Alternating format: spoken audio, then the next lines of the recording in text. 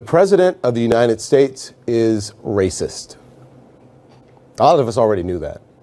Today, President Trump, talking with lawmakers in the Oval Office about immigrants from, from Haiti, from El Salvador, and Africa, said, and I quote, Why are we having all these people from shithole countries come here?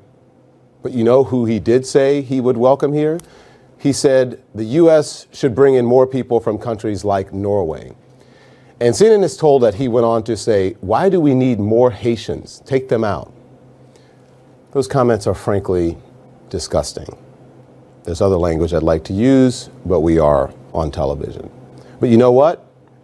They're not shocking, not even really surprising, because this is who Donald Trump is. This is what he thinks. Apparently, we have to go through this repertoire every time he says something like this or exhibits some racist behavior.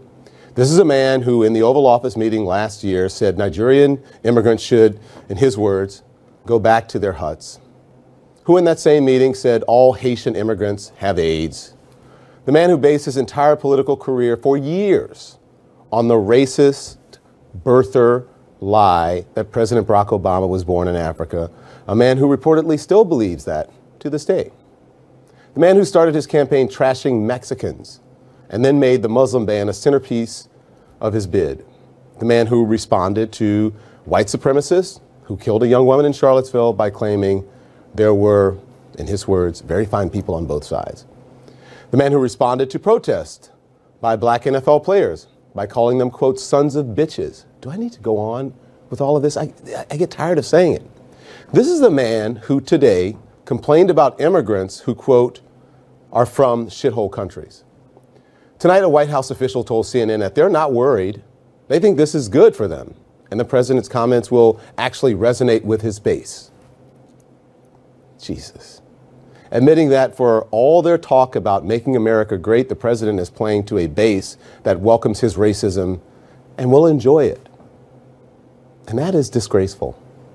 With that said, here's what's worse, and probably the most important point. So Gather around the television, everyone. And this is for anyone who may be taken aback by my comments. I want to be very clear here. I don't really care if you are. I hope you are. For years now, it has been, you know, two and a half years since he officially entered the political arena. For years, I and others have been trying to tell you, the American people, that this man was exhibiting bigoted behavior. I asked him about it a number of times, and he denied it but kept up the racist rhetoric and behavior throughout the campaign and now while he's in the White House. His supporters made excuses, continue to make excuses for him. Some of them people I personally know.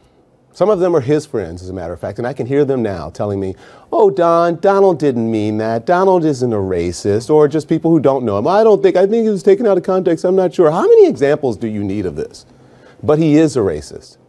And for all of you who over the last few years have uttered that tired, lazy, uninformed, uneducated, ignorant response of calling me and others who point out racist behavior racists, you know what you can go do? I can't say that, but you can go read a book, a history book, because you might learn that people from some of those shithole countries were slaves who were brought here by force to help build this country, and then start your learning process from there. You also might want to do some self examination. What does it say about you that no matter what, no matter what, you continue to make excuses for this man for his vile behavior, this sort of vile behavior? Doesn't that make you just as bad, if not worse, than him? And I have to be honest, I was, I was not shocked that Donald Trump reportedly called the majority of black and Hispanic countries uh, or continents shitholes. I wasn't shocked. I'm not. I'm really not outraged by it. I'm not outraged. I'm tired of being outraged, as a matter of fact.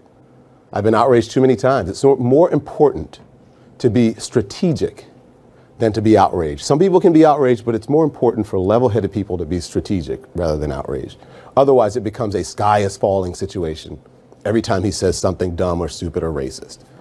Here's why I'm not outraged because people of color warned you you called us racists or race baiters. I'm not mad that you call me those things because I'm not one of them. So why are you mad if someone calls you a racist if you know you're not one? Think about that. if you know you're not a racist, then why are you mad about it when someone calls out racism? What does that say about you? You know what those black and brown folks who you call racist are saying now? They're saying you bought it, you own it. And as we say in the South, and you know what this means,